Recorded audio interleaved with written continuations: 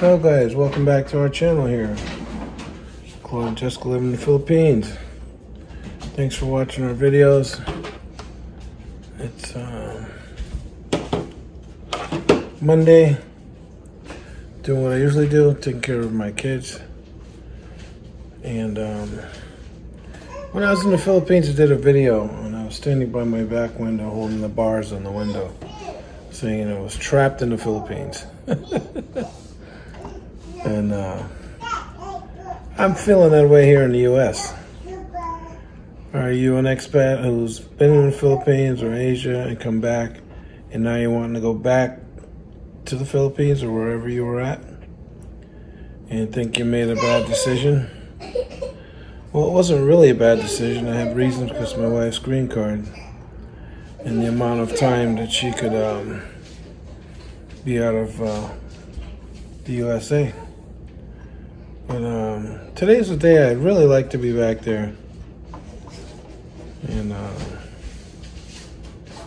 it's just, things are a little crazy here in the US. Everybody knows that. But it depends on who's in charge. It could be a little crazy wherever you are as an expat, too. Plus, you always have to take into account for the fact that the country could change and kick everybody out, so be ready. But, um, yeah, feeling a little uh, stuck here in the in the USA at the moment, but that's okay. Just could be having one of those days. Um, anyways, uh, other than that, all is going well here. Just want to do a quick video. Two thousand years later. We're going to be purchasing uh, some type of vehicle in the Philippines soon when we get there, we'll have one. And like we sold our car when we were there, and um, our car here, February will be paid off. Maybe before that, depends on how things go. And uh, when we have our moments, my wife's like, "Oh, well, let's just go back permanently." And some channels that say, uh, anyway, my kids are fighting with each other at the moment. That's the yelling noise here.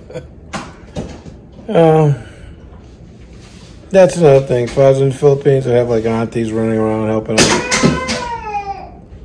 But uh, we're, we're just, you know, taking our plans slow. You know, son, you're going to have to pick those toys up.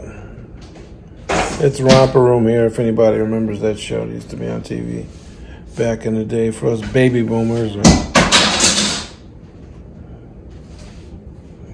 Crazy. Yeah, but anyways, just saying, uh, missing the Philippines, feeling stuck here in the U.S. at the moment. And when you walk outdoors here in Texas, it's hot.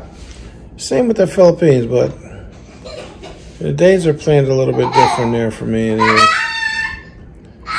And on this note, I need to sign off, guys. Don't forget to uh, hit the like button. I appreciate you guys. Take care. Ah!